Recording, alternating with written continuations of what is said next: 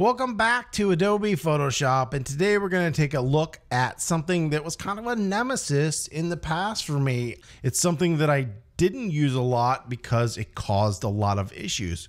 Adobe has gotten much better at the algorithms for auto levels and auto curves. So today I'm going to show you how to use auto levels and auto curves, which are actually the exact same thing. It's just one is in curves, one is in levels.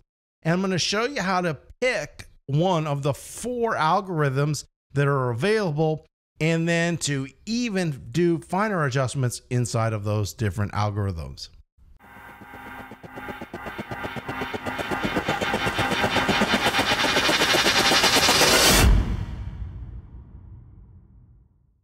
All right, so we have this image here and it's a little bit dark, but this was toned by this person to be a little bit dark, I think. So I don't actually have a problem with the way this is image is toned. It's just gonna work really good for this tutorial. So what we're gonna do here is first I'm gonna show you how to use the different auto levels and auto tones. So right up here, we have an adjustment level and an adjustment curve. Now you could also come up here and go to image. You could use auto tone and auto contrast, which are basically doing the same thing. And I'll further explain what each one of those is doing in the second. So I could hit auto contrast. Now the problem with auto contrast is it's a non-destructive adjustment. So once I apply this and then save it, I can't go back and do that. So we're not going to do that. So we're going to just either do levels by clicking there and then coming down here into the properties and hitting auto. It's making that adjustment. Or the exact same thing. It doesn't make a difference. It works exactly the same whether you use levels or curves. Now between levels and curves, I'm going to go ahead and click on curves. And I just prefer curves because it, it, just gives you more adjustment and more adjustability within this adjustment than levels does. So we're going to go ahead and hit auto and it's making the exact same adjustment as levels did. We're just going to go ahead and leave the curves adjustment here. So you can see this brightened it up considerably. So if I read her facial value and I'm looking over here in the K value, this is just a grayscale value. It's went from 40 to 35%. The brightness of this woman's skin tone is probably at a normal brightness of around 20% gray. Even 35% still a little bit dark, but in this image, I think it works. But you can see, so this algorithm has brightened that area up about 5%.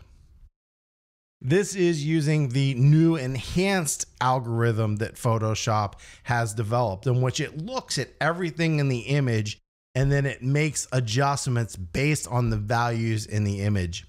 So, one of the problems that auto used to have in the past was it would clip or blow out certain areas. So, if you had an image like this, which doesn't have any white in it, it would make an adjustment that looked something like this. It would just totally blow it out because it would have to set white and it would have to set a black value. And if you have an image where there's no white or black anyways, it would really mess it up and make it look horrible. So one of the new functions within auto levels and auto curves is it's doing its best to not clip, meaning take a white and make it totally white with no detail. So if you look over here at this K value, if you get anything from about 1 to 0%, you're going to lose all white detail. Well, in a image like this, you don't want to lose or blow out or clip that detail out of the image. You still want to hold that. It shouldn't be 0 or 1%. That would just be too bright. Now, if you have an area in the image that's blown out and there's no detail, it's all right to have 0 or 1% in the image if it's an area that doesn't have detail. But this has texture, it has detail. We don't want to lose that. So you can see right now, as I hover over her shirt, it was at 12%, but it's going to 6%, which is really good. Photoshop is not blowing this area out or making it too bright, which was the biggest issue in the past. The question is then, well, how can I adjust auto levels or check out the different algorithms and what do they mean? So it's really easy to do. We're going to come up here into properties and we're going to go to this little menu right here. And I'm going to click on that and we're going to drop down to auto options. And that's going to bring up this little window. Now in this, I have changed, I've changed the default from this to this. because that's what I prefer. But by default, most of you are going to be under enhanced brightness and contrast. And enhanced brightness and contrast is the newest one. It analyzes everything in the image and then it tries to make adjustments based on the image. And this really helps in trying to not blow out certain areas. So I could click on this and hit save as default. And then now it would change that as my default one. So if I came in here and I clicked on curves and I clicked on auto, it would now be using this new enhanced. So if I come down here to auto options, you can see enhanced is what it's using there. Let's go back to this image. We're on the curves. And let's go back to auto options. So now we're under enhanced brightness. I was using the first one, which is enhanced monochromatic contrast. And not only is it doing that, I've actually changed these values in here a little bit. If you were to come in here, you've noticed that I have this at 4% and zero. So let's gonna put this back at zero. And we're gonna change this white back to 100, just so you can see what it's doing. All right, so we're gonna go ahead and save that. We're gonna hit yes. And then I can go back into auto levels. All right, so everything's back at its default values now, except for it would normally be under enhanced. But we're going to take a look at enhanced monochromatic contrast. So what does enhanced monochromatic contrast mean? Well, let's read the definition. It clips all channels identically. This preserves the overall color relationship while making the highlights appear lighter and the shadows appear darker. The auto contrast command uses this algorithm. So what is the auto contrast? If you were to go up here and you go to image right there, auto contrast. So, so if you use auto contrast, it's using the same algorithm as enhanced monochromatic contrast. So what that's doing is it's not affecting the color in your image. If you're getting accurate color when you're taking your images, but you just want to adjust your brightness values this is going to be your best option. One of the problems I have with some of the other options is they do, and I'll go ahead down here and I'll click on this one. Notice it's changed the color balance as well. So enhance per channel contrast, adjust contrast, brightness, and darkness, but it's also changing color balance. I don't usually want the computer to be changing my color balance because I have it set the computer is basically assuming that everything is shot under a neutral lighting. So if you shot at sunset and you have that warm golden color, as this image did, notice that when we did enhance per channel contrast, and especially if I do snap to neutral midtones, it's removing all that warm color to it. I, don't want it to do that. I want it to stay warm as I shot it. This is going to be something specific to each person individually. Just because I set something one way doesn't mean that it's the right way. It's just the right way for me. Enhanced per channel contrast is our second algorithm. So let's go ahead and hear what they got to say about this one. Enhanced per channel contrast maximizes the tonal range in each channel to produce a more dramatic correction. Because each channel is adjusted individually, enhance per channel contrast may remove or introduce color casts. The autotone command uses this algorithm. So let's go ahead and click off this. If we go up here, this is autotone. So it's saying autotone is using the same as enhance per channel contrast. And basically what this is doing is it, because it's using the red, the green, and the blue channel, it's adjusting the brightness and darkness values based on these targets. And it's also adjusting color. If this is something that you like or is helpful for you, then this is a great selection or algorithm for you to use. The fact is, no matter what you set, it's not going to work 100% of the time. Anybody that thinks one click everything in Photoshop is a great way to work, it's it's not. So each image inside Photoshop is going to be toned just a little bit differently than the other. So where enhanced per channel contrast might work for the majority of images for you, you might find that, you know, that other 5% enhanced brightness works better or enhanced monochromatic contrast. The reason for this video is to show you where the stuff is and give you the ability to go in and refine the algorithm so you can get a better match for that specific image. You can't just rely on the same settings to work perfectly all the time. Let's go down here to find dark and light colors. And this was kind of interesting. You got to listen to the wording. It finds the average, and that's important, the average of the lightest and darkest pixels in an image and uses them to maximize contrast while minimizing clipping. So that clipping was the issue that I had in the past. Auto color command uses this algorithm. So if we go up here to image and notice that we have uh, auto color and we can't get it unless we're on the background. So we'd have to go here. So auto color is using the same command as find dark and light colors what this is saying is taking the average of the darkest pixels and the average of the lightest. It's not taking the lightest pixel, it's taking the average of the light pixels and the average of the dark pixels. And then it's making its adjustment based on those averages. And the last one we have is just the enhanced brightness, where it's looking at the whole image and it's trying to use artificial intelligence to make an intelligent adjustment to the image in color, contrast, everything that it looks at inside of an image.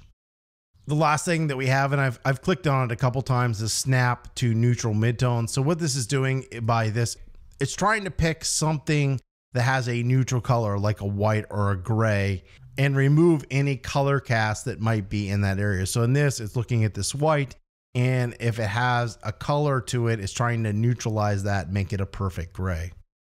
So down here, we have something called target colors and clipping, and that only works for the top three adjustments that we have here. So right down here, we have the clipping for the shadows, and this is the clipping for the highlights. And think of it as sensitivity. So this is the least sensitive, and you can go up to about 1%. So I can put 1% in here, and that's gonna make it more sensitive. So as the number goes up higher, you're gonna get brighter areas in the way it analyzes the program.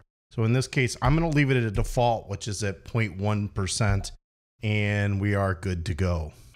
And then right over here, we have target colors. So when it's looking for dark and light and what it's going to set it to, it's looking at these values.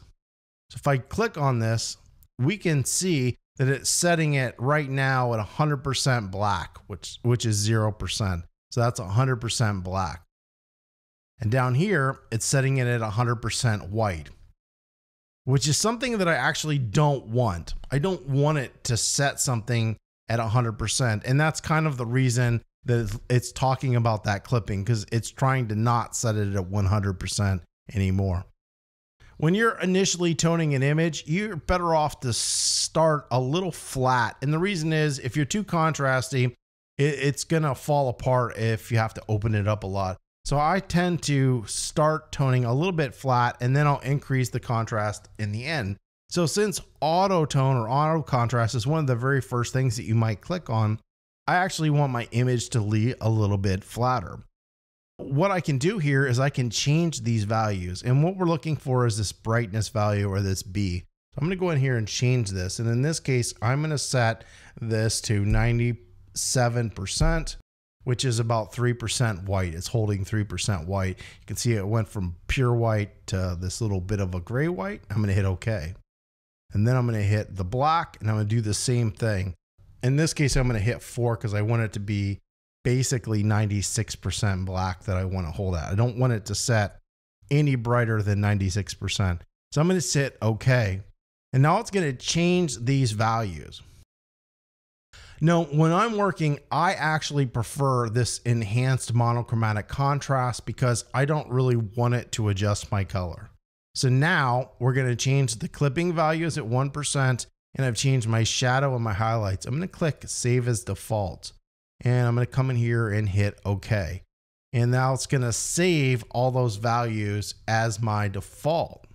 So now when I come to an image like this and I click on this and I hit auto levels and curves, it's going to be using those values. Notice we didn't get a color change and we didn't get much adjustment in the white values. So we're at five and it's holding that 3%, which is what I wanted. So if we come in here and we go to auto options, you'll notice that it's saved and it's using those values that I set here in enhanced monochromatic contrast. And it's saving that 4% and that 3% change here in the highlights, which is what I wanted. Now, if you decide that you want to use this one for just this one, you can click on it and hit OK, and you're done. Or if you decide that you don't like the enhanced monochromatic contrast and you want to go back to enhanced brightness, you would just click on this. You could click this, which is save as default, and you would hit OK. I'm not going to do it because I actually want it the other way. And I'm going to hit cancel. So now we can come into an image like that we have here, and I'll just do auto levels. hit auto. It's going to adjust that image, and you can see here's what I hate about auto levels and contrast. It blew this area out. So let's take a look at this. Auto options. And that looked horrible. So now I can come in here and say, man, that didn't look good. But when I click on enhance brightness and contrast, this worked really good for this image. I will tell you that for most people learning Photoshop, this new enhanced brightness contrast works better. For me, I might choose this enhanced monochromatic contrast because it's working better for me on certain images. Now, on an image that's dark like this that doesn't have a white value, I would never hit auto balance because I would know it's going to mess it up.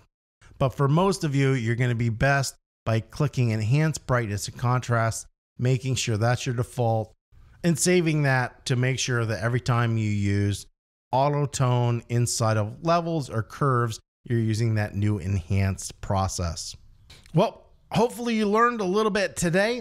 Don't forget, we have created a new Facebook group. And the reason I started it is I get a lot of comments where I really need to see an image or a video of what you are talking about it's difficult sometimes for me to give you an answer because I'm unsure of what you're trying to say or what the actual issue is. So if you go down to the description, you will see the link to the Facebook group. If you want to join that, that would be wonderful. If you found this video helpful, don't forget to give it a thumbs up. If you have any comments or questions, you can leave those below. And as always, don't forget to subscribe.